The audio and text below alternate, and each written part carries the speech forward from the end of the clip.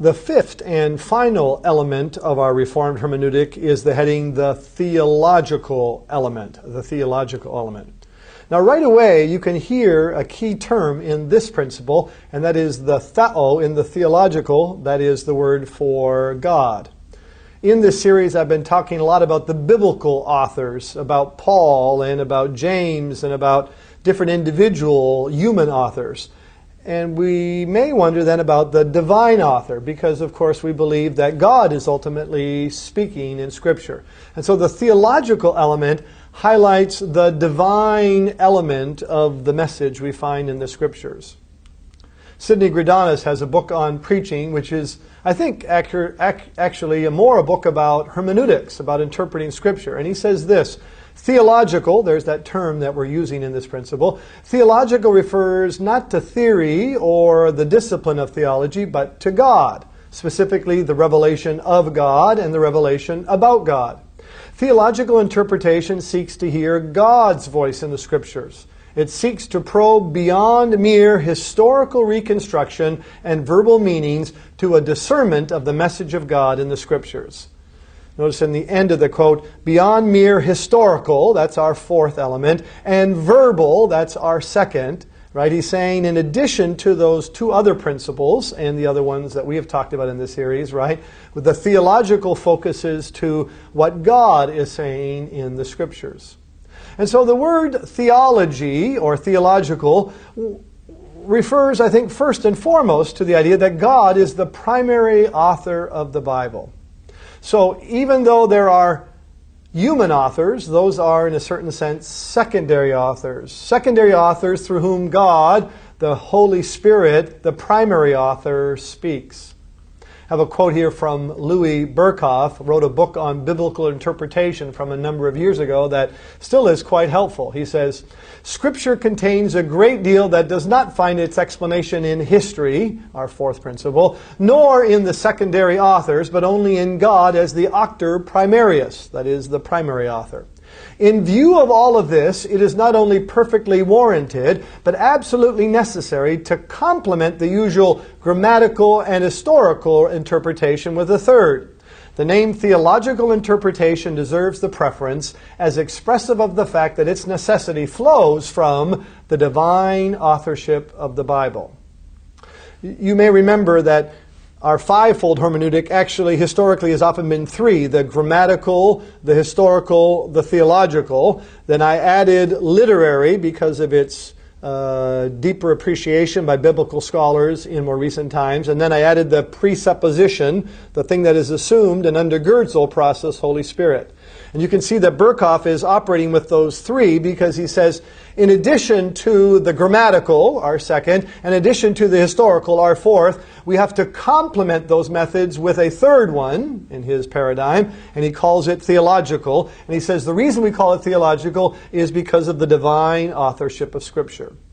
Now, I'm assuming that uh, you listening believe that God is indeed the ultimate author of the Scriptures. But what you need to see is it's that divine authorship that really is the grounding idea behind some other hermeneutical or interpretive principles that we may know, but maybe we don't know the grounds for them.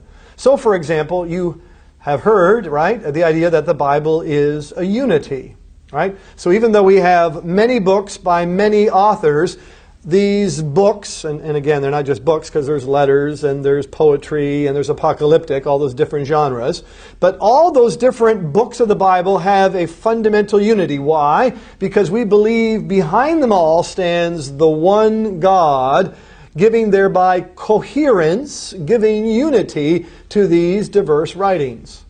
And this is also the justification for another well known and important hermeneutical principle interpreting Scripture with Scripture. Why do we do that? Why is it important to interpret one part of the Bible with another part of the Bible? Well, again, we're assuming that God is the primary, the ultimate author of Scripture, and thereby he speaks with one voice through all of these secondary authors and different forms of writing. And thereby we want to compare what God is saying in one passage about one subject with what God may be saying about the same subject in another passage. Or to use an analogy, we don't want to be as interpreters like racehorses. You know, racehorses, they, they have blinders on because they are, you know, they're trying to prevent them from looking to the left or to the right and being distracted. Well, in a certain sense, a, a, good interpreter of Scripture wants to be distracted by other passages of the Bible. We do want to look to the left and to the right. In other words, we just don't, in a myopic way, look at what God is saying in this one passage. We say, how does this compare with what the same God is saying on the same subject in other parts of His Word? We need to interpret Scripture with Scripture.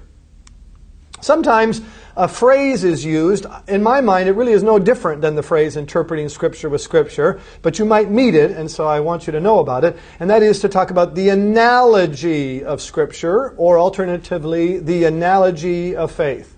In my mind, interpreting Scripture with Scripture is the same as talking about the analogy of Scripture or the analogy of faith.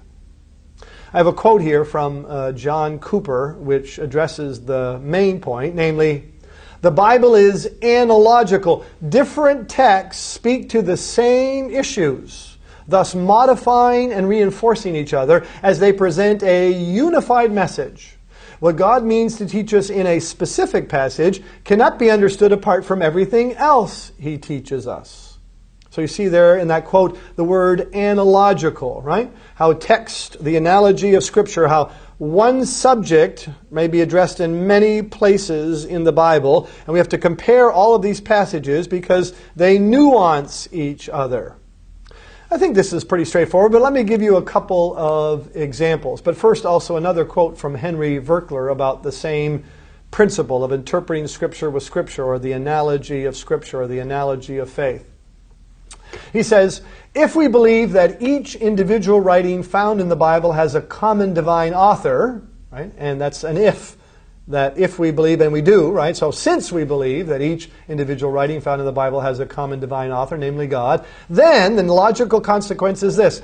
Our exegetical exploration expands beyond the relationship between a text and the single biblical writing in which it is found to include questions about its relationship to the entire biblical canon we are compelled to explore how each part of the Bible is in continuity with, is consistent with, and must be interpreted by the whole of the biblical teaching. Interpreting Scripture with Scripture, in other words. Now, here's an example uh, of how that principle might carry out in practice. Let's imagine you're a newbie, right? You're a brand new Christian. You know very little about the Christian faith and very little about the Bible and how you ought to read it. Anyway, in your devotions, you stumble across Luke 14, verse 26, and you read, If anyone comes to me and does not hate his father and mother, he cannot be my disciple. Hmm, that catches you off guard. But, you know, hey, you don't know really what's involved. And so if you take those words literally, if anyone comes to me and does not hate his father and mother, he cannot be my disciple. Well, maybe you draw a certain conclusion. And so you get on the phone, you say, Hi, Mom. Hi, Dad. It's Jeff here. I know you heard that uh, I'm into Jesus now, right? Yes. But um, I, maybe what you don't know is, I guess if you're into Jesus, I can't be into you. So, Mom and Dad, you know, I appreciate all the things you did for me, you know, in the past, but you know, uh, I'm sorry, I won't be talking to you anytime in the future. See ya, bye. Now, that would be a logical way to read this text in a kind of straightforward, literal, naive fashion. However, then you remember the principle of looking to the left and to the right, the principle of interpreting Scripture with Scripture. And you say to yourself, now, I wonder if the Bible anywhere else talks about the relationship between children and their parents. And then, of course, you quickly find some important information. For instance, in the same Gospel of Luke, from the same Jesus, the same Jesus who said this one statement, he also says, Love your neighbor as yourself. So that right away would cause you to pause, right? How could you hate your father and your mother if Jesus also says you are to love your neighbor? If you are to love your neighbor, shouldn't you at least love your mom and your dad? And then you come across another saying also in the Gospel of Luke and uh, also uh, from Jesus, Luke 18 20. Jesus cites the Old Testament commands. He says, You know the commandments. Do not commit adultery, do not murder, do not steal, do not give false testimony, and honor your father and your mother. And so then you realize wait a minute, oh, that other text about hating father and mother, right? That ought to be clarified, the meaning of that passage by these other texts. And you say to yourself, maybe I got that wrong. Maybe I'm not supposed to literally hate my father and mother on the basis of these other texts. Maybe I need to go back to that text and, and, find out what it really is saying. Remember, we said before in this series that what the Bible says doesn't always exactly equal what the Bible means. And when you do some further analysis, and of course, this is part of surrounding yourself with, remember, a good cloud of witnesses, resources that you can trust and be reliable to explain any passage of Scripture, and especially difficult ones, you find out something pretty quick. You find out that in Jewish circles, to hate something is a similar way to say that you love something less, right? So when you use the word hate, you don't mean hate in an English sense of I despise, I can't stand, I hate. But no, it's a way of saying I love this thing or person less. So, for example, we read in Genesis 29, notice how we have two verses because they say the same thing, just different ways. In verse 30, we read that Jacob loved Rachel more than Leah. And then the next verse says, and Leah was hated. You see, the second verse clarifies or restates what the first verse says. The first verse says just not that he hates Leah, he just loves Rachel more. And so in a Jewish way, instead of saying the same verb love again, you can say it by and he hated Leah. And it's not just this one text, there are other texts too. For instance, in Malachi, God says, I have loved Jacob, but Esau I have hated. In a Jewish way of speaking, this doesn't mean that God literally hated Esau. It's just that he loved him less than his brother Jacob. And in fact, this principle, this idea that hate is really a Jewish way of saying loves less, is so clear that one major translation actually translates it that way in that verse. In other words, they don't use the verb hate because they're worried that you, the modern reader, might take that literally and thereby miss the real meaning of the text. And so they instead translate it as love less. And so if you go back to the text, on the light in the light of the rest of Scripture, you say, okay, I realize I'm not to literally hate my mom and dad. No, no, no, that can't be on the basis of what God says elsewhere in His Word. No, what that text means is, right, what it means is, or its underlying truth claim or principle is, is that I guess compared to my love for Jesus, I love less my mom and dad. My, my love for my parents is less than my commitment, my absolute devotion to Jesus Christ. That's what the text means. And a way to get at that, as we've said, is by interpreting Scripture with Scripture. Maybe one more example that we can use, and uh, it's the same kind of idea. Let's imagine on the topic of church discipline. You're a church leader, and you're wondering, now, how do we deal with people in our church, you know, who don't do what they're supposed to do? How do we handle that? It's called discipline. Well, let's imagine the Bible said nothing about this subject except for this one verse, right? The Bible says nothing about disciplining wayward or sinning brothers and sisters except for this one passage from 1 Corinthians 5. Should you not have put out of your fellowship the man who has been doing this? Now, the context, by the way, in 1 Corinthians 5 is that a member of the church has a sexual relationship with his stepmother, not his natural mother Otherwise, they would say he's sleeping with his mom. The phrase is very deliberate in Greek. It's the wife of the father. Your mother is not the same as the wife of the father.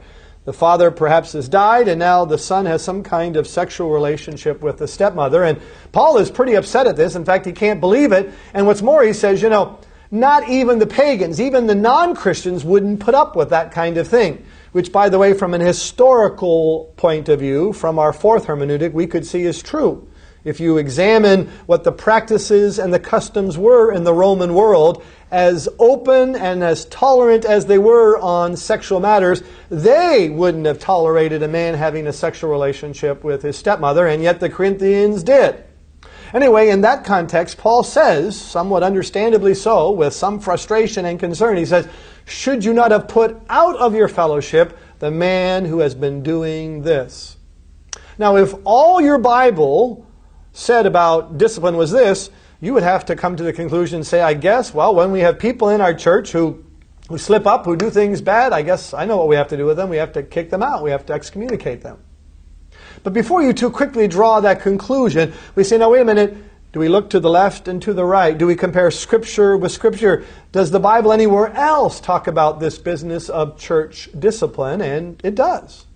And maybe we can nuance our understanding, clarify understanding of discipline by these other passages. So we obviously, without much difficulty, come to a passage like Matthew 18. Jesus says, If a brother or sister sins, go and point out the fault just between the two of you. If he or she listens to you, you have won them over. So I guess we don't go from nothing to excommunication right away. There must be some intervening steps. The first thing you do is you, you go privately, you go personally to this person, and you tell them about the situation. But if that doesn't work, then we still don't go to excommunication. There's a second step. You take another person with you, right? The idea of having the testimony of two or three witnesses being more persuasive, not only to make sure that that this situation isn't uh, confused, right? That, that people have a who have an accurate record of it, but to show the weight of the situation to the person who's being uh, disciplined. And if that still doesn't work, step three is, right, if they still refuse to listen, tell it to the church. Then it becomes a public matter. Not right away, but ultimately becomes a public matter. And if that still doesn't work, well, then finally you get to step four, right? If they refuse to listen to even the church, then finally you treat them as you would treat a pagan or a tax collector, right? And then you'd, of course, do a historical analysis and say, well, how did uh, Jews treat pagans? And how did Christians treat pagans? And especially, how did Jews teach? Treat tax collectors, right? And they wanted nothing to do with them. Then you're back finally to that 1 Corinthians passage where finally at the end of this process you might sadly but finally discipline, excommunicate the person. But there's also more in the scriptures about this subject. For instance, Paul says in Galatians 6, verse 1 Brothers, if a person is overtaken in any sin, you who are spiritual should restore that person in a spirit of gentleness. Now, Two things are very important about discipline of this text. First of all, you who are spiritual should what that person? Get rid of them, make sure we get rid of all the bad apples. No, we should restore that person. So the purpose of church discipline is not punitive. It's not just to punish people. No, the goal or the purpose of church di- discipline is to restore them to the fellowship. And so we always have to keep that in mind as we engage in this tricky and delicate business of discipline. And therefore, we also have to do it in a spirit of gentleness.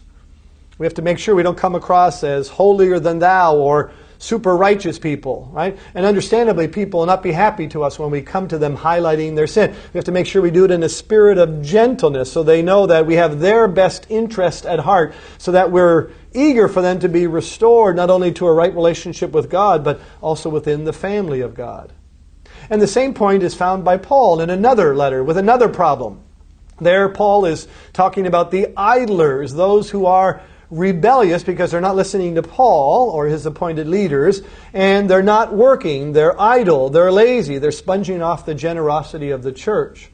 And Paul dealt with it during the founding of the church, during his second missionary journey. He dealt with it a second time in his first letter, and then the problem got worse instead of better. And so Paul has to have a rather long section in the second letter, chapter 3, verses 6 to 15, to talk about how the church should discipline these rebelliously idle members. But notice at the end he says, Do not look on him as an enemy, but warn him as a brother. There's that same idea of doing this in a spirit of gentleness. And so when we practice church discipline, we have to do so from a kind of loving, caring, brotherly, or sisterly perspective. And so hopefully the point is clear to you. The reason we interpret Scripture with Scripture, the reason we don't just blindly look at just one passage in isolation from the rest, is we say, now where else has God addressed this subject? And these other passages, they help us nuance our answer. They help us better understand not just what the Bible says, but more importantly, what the Bible means, what God's will is on this particular topic or situation. Well, this is one thing that we've talked about so far under the heading theological. The idea that God is the primary author of Scripture gives a fundamental unity to Scripture, and thereby we interpret Scripture with Scripture. But now I'd like to move on to something else that also fits under the heading theological. And frankly, this is not an easy concept to grasp if you haven't thought about it before. And so I hope that you are uh, ready and you have some RAM left, uh, some memory to kind of think carefully about this concept because it's a very important concept, particularly because it impacts the relationship between the Old Testament and the New Testament. Not all Christians are agreed about this interrelationship. So, again, this concept is an important one. So, what is this concept I've been alluding to and hinting at? Well, it's a concept called progressive revelation. Progressive revelation. Now, let me try to explain this concept to you. On the one hand, the word revelation isn't hard to understand, right? Revelation is where information is communicated from one person, in this case God, to another person or group of people, namely us. That's why we talk about general revelation, the knowledge of God through creation, special revelation, the knowledge of God in His Word, the Bible. So, revelation, that, that I can understand. But what about this other term, progressive? Well, it refers to the fact that God, in revealing Himself and His will to us, doesn't do so in one fell swoop, but rather chooses in His divine providence to do so progressively over history, over time. I think I need to say that again because this is an important and yet difficult to understand concept. So, God, instead of revealing His will, and his plan of redemption in one fell swoop, in one immediate moment, he instead, in his divine pleasure and providence, chooses to do so progressively in history over time. And so, what that means is, if you stand further along in that progressive revelation history, you get a clearer picture of what God had all along intended to do. Let me try to say it uh, differently. So, the same idea, but maybe in a different way. We can't go to Genesis 4, for example. Why did I pick Genesis 4? Because I wanted a text after Genesis 3. What's so significant about Genesis 3? Oh, that's where the fall occurs. So we can't go to Genesis 4 and find a text that reads something like this and God came to Adam and Eve and said, Adam and Eve, you've blown it big time, but sit down. This is what I'm going to do. I'm going to allow you and your descendants to multiply and increase and fill the earth. Although I must sadly tell you that many of them will become wicked, so wicked that I'm going to have to wipe them out with a flood. But there's good news, Adam and Eve. I'm going to save out of all those people a family for myself. His name is Noah. Don't worry about that. I'll take care of the details. And from Noah and his family, again, the earth will be filled. And from that earth, I'm going to call for myself a people. A man's going to start it all off. His name is Abraham. Again, don't worry about that. I'll take care of the details. And he will literally be a father of a nation. We're going to have to change his name from Abram to Abraham. And this nation will sometimes follow in my ways and sometimes they will not. But nevertheless, through this nation, ultimately I'm going to send the Messiah, the anointed one, the promised one, my son. But he's not going to be the kind of Messiah or Savior that people want or expect. They'll want and expect some military Messiah, one who will free them from their enemies, and that day it'll be the Romans. But again, don't worry about that. I'll take care of the details.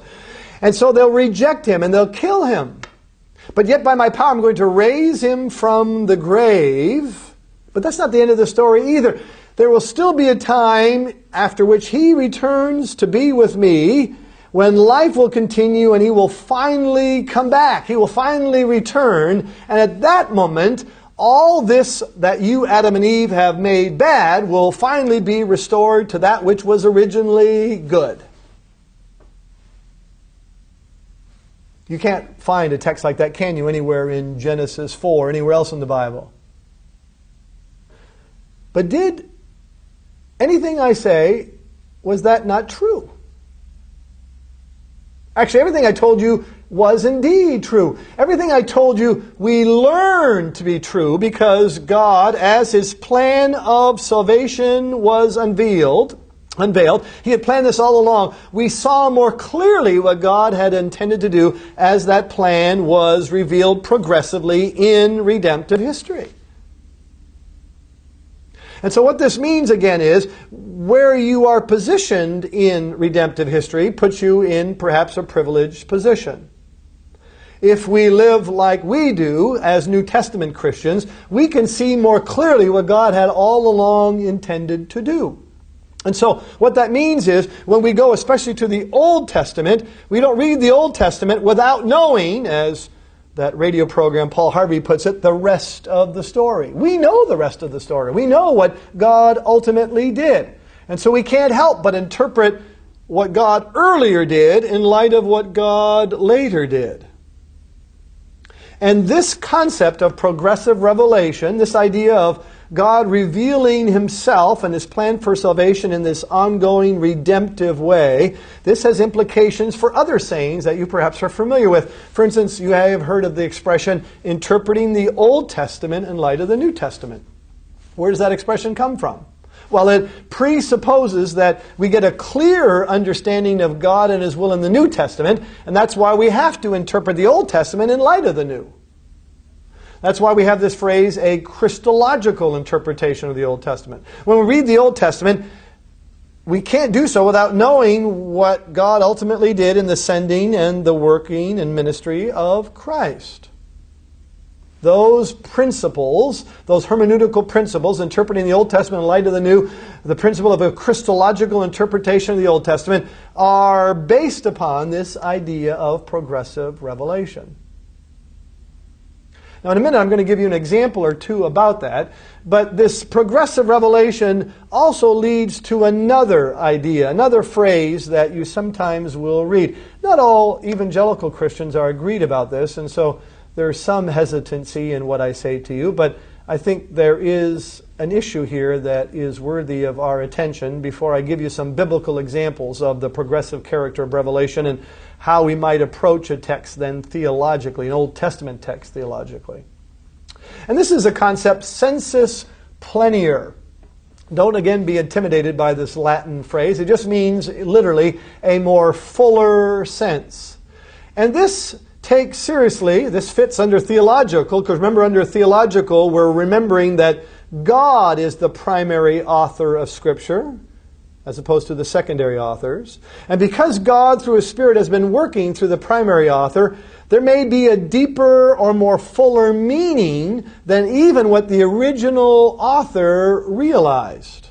In other words, even though the human author is recording God's will, because God is at work in the process, there may be a fuller sense, a sensus plenior in Latin, right, than even the biblical author was aware of.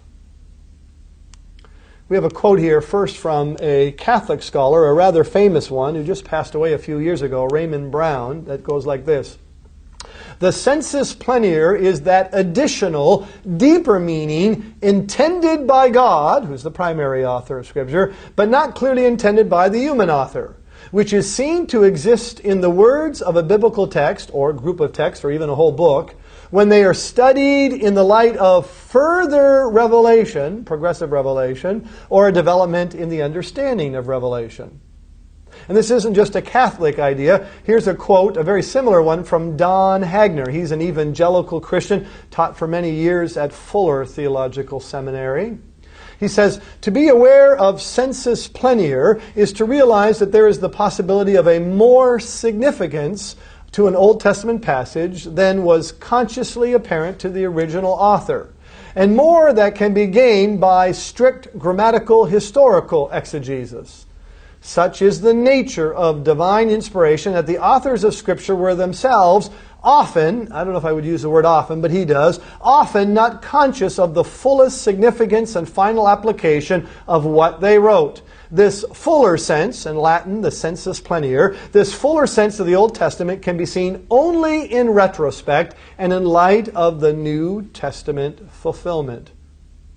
So, progressive revelation, right? That we understand God's will, His plan of redemption more clearly as that plan unfolds in a progressive fashion, and also the divine authorship of Scripture may mean that there is a deeper meaning to some text, especially Old Testament text, possibly New Testament text, but especially Old Testament text, than the biblical authors themselves were aware of. Well, all this maybe sounds kind of abstract, and so let's look at a couple of examples, and maybe this will make it more real or concrete. Let's imagine you're on a game show, uh, Alex Trebek, and uh, you know um, you take uh, you know biblical questions for 1,000 because you think you'll do well, and the question is, uh, what is the first gospel? What is the first gospel? Now, of course, on that TV show, the answer would be, of course, what is Matthew? But there are some theologians who would disagree with that answer.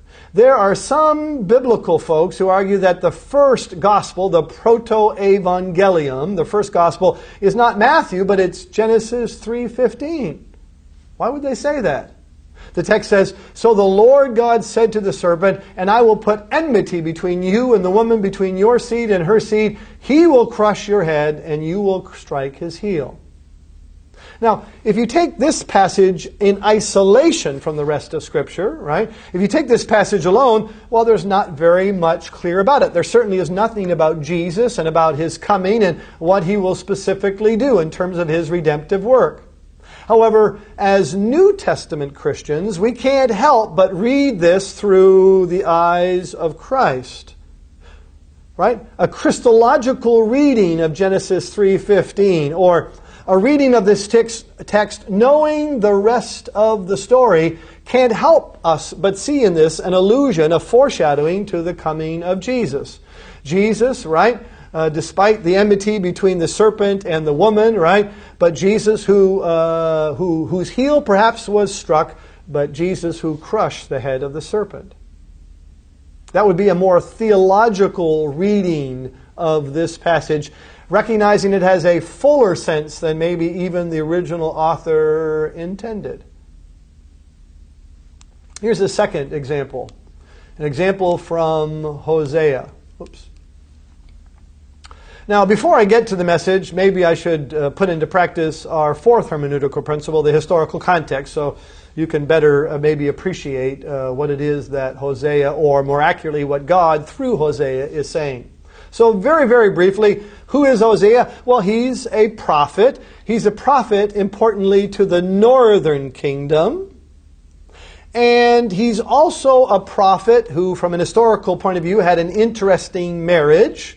God commanded him to marry a prostitute, a woman of the streets, because Hosea's marriage was a metaphor. It was a living example of Israel's relationship with God. Because just like Hosea's wife was kind of prostituting herself, so also Israel, the nation of Israel, was prostituting itself by not being faithful, monogamous to God, the one and only true God, but these other gods from the foreign nations. And also, Hosea had three kids with his prostitute wife, and the names of each of these children were also words of warning to the Israelites to repent of their sinful ways and to return to the Lord alone.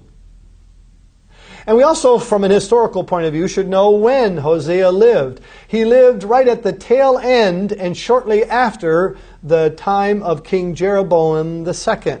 Is that important? Yes, it is. Jeroboam II was, at least financially and politically and militarily, a very successful, lengthy kingship. Israel, in fact, expanded its military borders to the glory days of King David and King Solomon. But there was a problem. As Israel increased its military borders, so also it increased the number of foreign gods that it worshiped. And as Israel became more financially successful, so also it increased its neglect of the poor, the fatherless, the widow. And so, from an historical point of, point of view, the time was ripe for God to raise up a prophet, a guy like Hosea, who's both were his deeds, his marriage and children, and his words were words of warning to the Israelites of old. Now, when you turn to the message, there are some negative things, therefore, understandably so, that Hosea has to proclaim to God's people. I'm just going to quickly go through them because I want to get to the positive message because we see again how God's mercy is greater than Israel's sin. So one of the themes, the verb in Hebrew that occurs over and over again, is Israel's failure to acknowledge God. Israel's failure to acknowledge God. The second sin that they're guilty of is Israel's failure to, to give gratitude to God. Well, that's a logical outcome of the first problem. If I don't acknowledge God in my life, well, then naturally I don't thank God for the good things that have happened to me in my life. Instead, I look at my life, especially good things, and I say to myself, oh, I must be lucky, or, you know, fate must be shining on me, or, you know, I deserve these things. I've worked hard. No wonder I have them.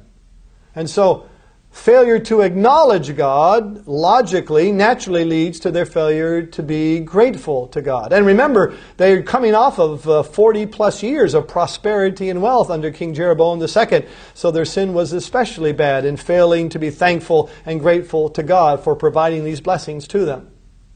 And the third sin is they were guilty of no proper worship.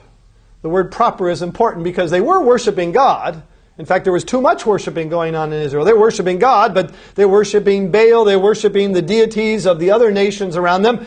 You know, they probably figured, hey, why not? You know, life is good. We're on a roll here. We don't want to knock a good thing. Let's make sure that all the deities out there are happy so that, you know, we can maintain this affluent, comfortable lifestyle that we're leading. But after all of these negative messages comes the gospel, comes the good news. And the good news is God's mercy is greater than Israel's sin. In other words, even though Israel, you don't acknowledge me as you, sh- as you ought, even though you don't bring me the true and genuine gratitude, thanksgiving, and praise that I deserve, and even though you don't worship me in spirit and truth, God says, My mercy, Israel, is greater than your sin. And if you have time, you should look up especially Hosea 11, where the parent child relationship between God and Israel is a powerful expression of this truth. This is the underlying truth claim, moral principle, that God's mercy is greater than Israel's sin. Now, if I stopped here, I would be guilty of exegetical malpractice. Because I have to interpret this passage. Remember, in light of the rest of the story. You and I do know the rest of the story. We stand in a privileged position within the history of redemption. And so I could come to you, the modern audience, and I could say something like this. I could say, You know the truth of Hosea better than Hosea did himself. You know the gospel truth that God's mercy is greater than your sin. You know that better than Hosea did. And you might be surprised and say, How can that be? And I could say the, it can be because, again, you stand after Christmas. You live in a time after Good Friday, after Easter, after Ascension Day, after Pentecost. You see, you and I stand in a privileged position within the history of redemption. We haven't just heard the truth that God's mercy is greater than Israel's sin, we've experienced it. We've experienced it through Jesus Christ. And that allows me and you to say that God's mercy in Christ Jesus is greater than all my sin. And you know what comes from standing in a privileged position, don't you? Greater responsibility. And so I could then, in terms of application, go on to say, now, in light of what God has done for you through Christ, do you acknowledge God and God alone? And in light of what God has done for you in Christ, do you bring your praise and gratitude to God and to Him alone? For not only the physical blessings that you enjoy, but especially this spiritual blessing which blows those physical blessings away. And in light of what God has done for you in Christ, do you worship Him properly in spirit and in truth? And in light of what God has done for you in Christ, do you know that underlying moral truth claim found in Hosea? Do you know that gospel message given through the prophet Hosea. Do you know that truth? And, and can you tell it to your neighbors? And do you live it out into your daily life? Namely, that God's mercy in Christ is greater than all your sin. You see, that's where we apply the theological. That's interpreting the Old Testament in light of the New. That's a Christological reading of this passage.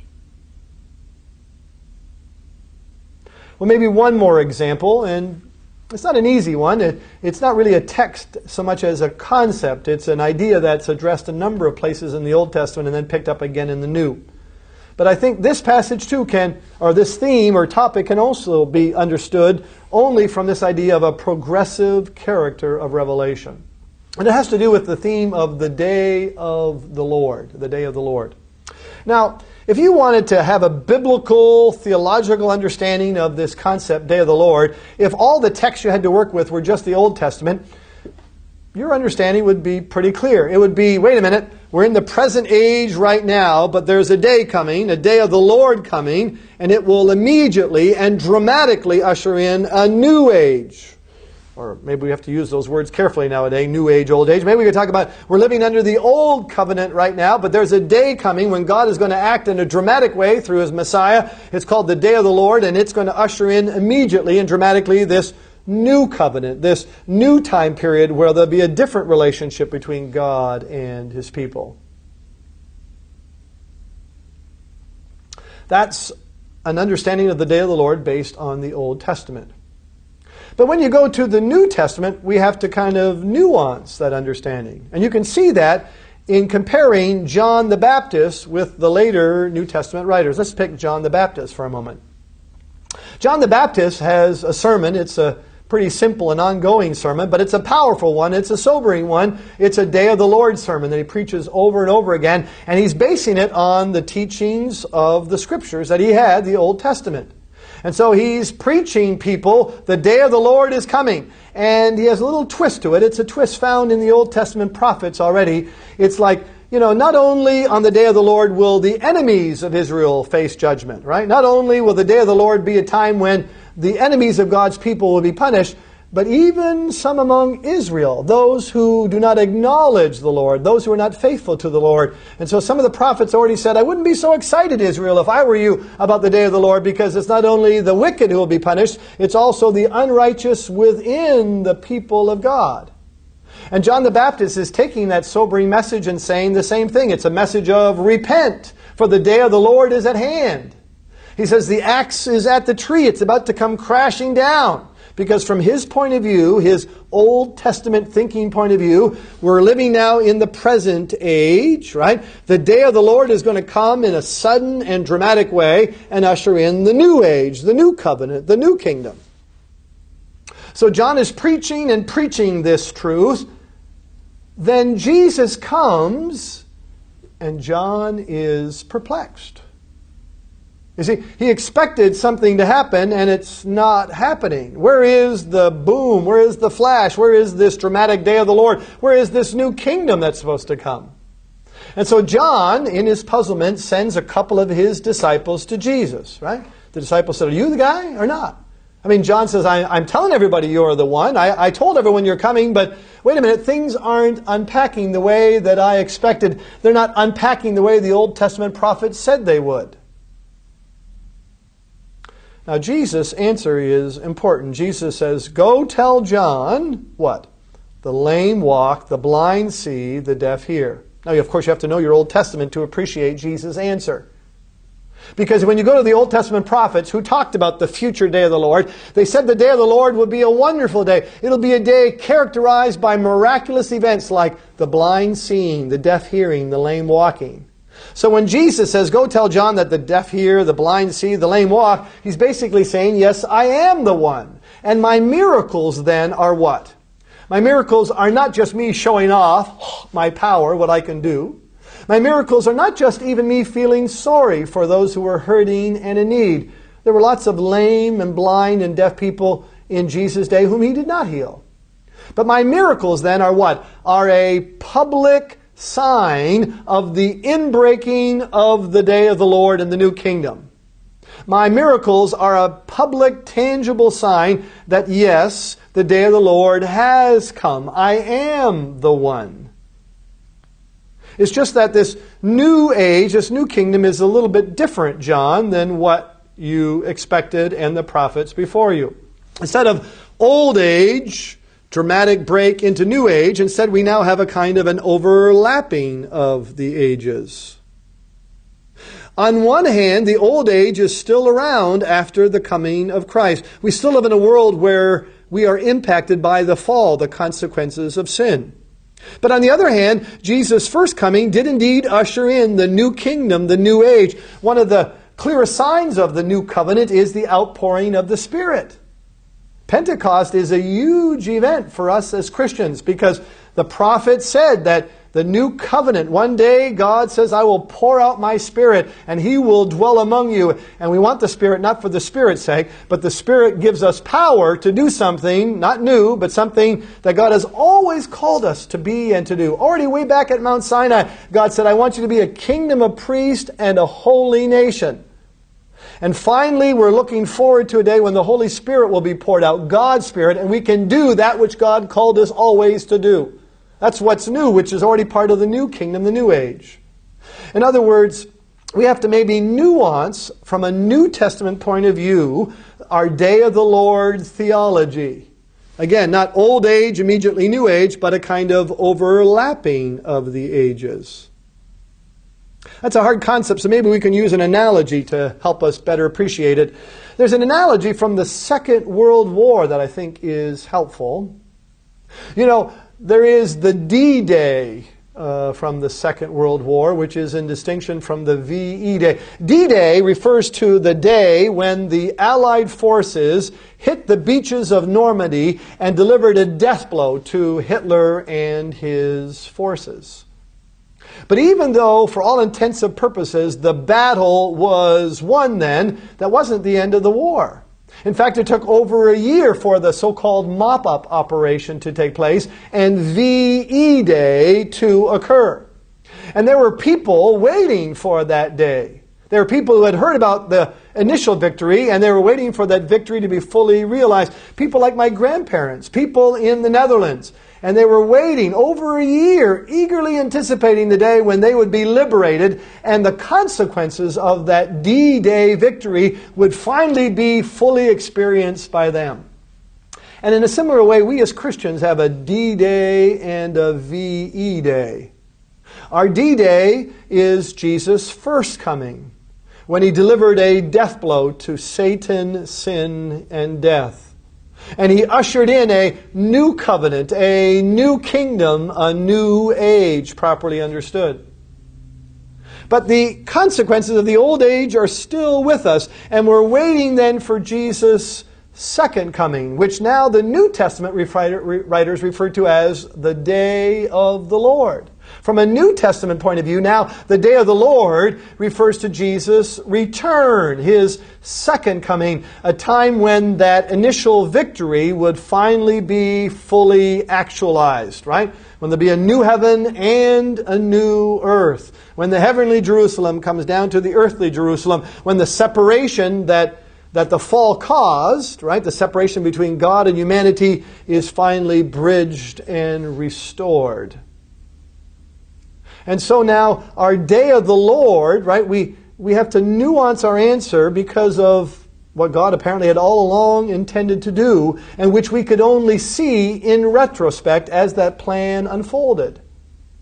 And by the way, that's why Jesus says about John the Baptist that, that whoever is least in the kingdom of God is greater than John the Baptist. I mean, John the Baptist is a great guy. He's the forerunner to the Messiah.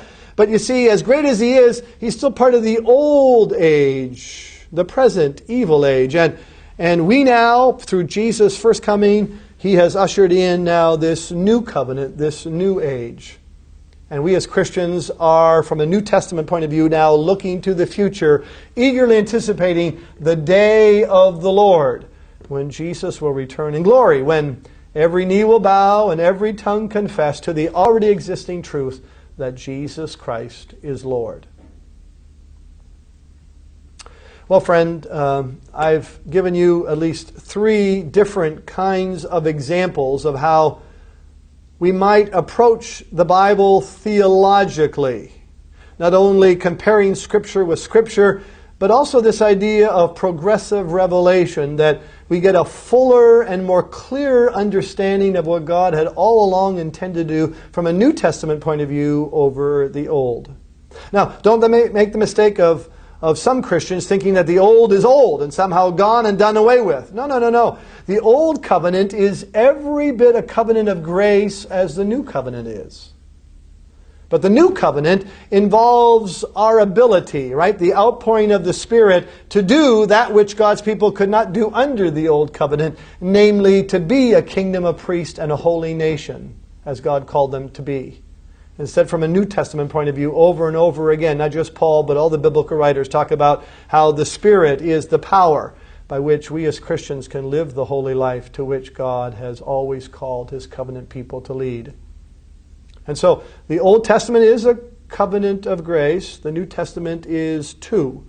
And so there's a bit of difference between the two, not because the old is bad and got away with, but the new is a fuller realization of what God had promised to do under the old covenant. Well, we come to the end of our five hermeneutical principles. Remember, the first one, the Holy Spirit element, is a presupposition underlying the other four. It's a bit more of a subjective category. It's a little harder to analyze the work of the Spirit. Right? He comes and blows wherever he wills, but not what he wills. And we have the other four, the more objective traditional categories of grammar, literary, historical, and theological. And my goal, and I'm quite convinced this is possible, is that when you approach Scripture, you apply these different principles. You approach the text from a Holy Spirit element. You pray for the illuminating presence and work of the Holy Spirit as you interpret, as you seek to exegete, to discover the then and there of a particular text. And you approach the text grammatically and literarily and historically and theologically. Now, not every passage will have factors of equal significance on all those different hermeneutical principles. Some passages, grammatical considerations will be really important, sometimes they'll be less important. Sometimes on one passage, historical considerations will be huge to understanding the passage, and sometimes it won't be so significant. So remember that hermeneutics is not just a science, but it's also an art. You have to be a little bit flexible or wise as you put these principles into practice. And when you do that, some positive things happen. If you follow this reformed hermeneutic, these five hermeneutical principles, one positive thing that happens is foolish interpretations are quickly gotten rid of. If there's some idea that you have or that somebody has out there that has no business being on the table, it's quickly weeded out as you subject it to these different criteria. And what's more, I've never ever had it where if I follow the text grammatically, it leads in one direction. And if I follow it literarily, it leads in another one. If I follow historically, it leads in another one. That never happens. Instead, they always seem to kind of work together.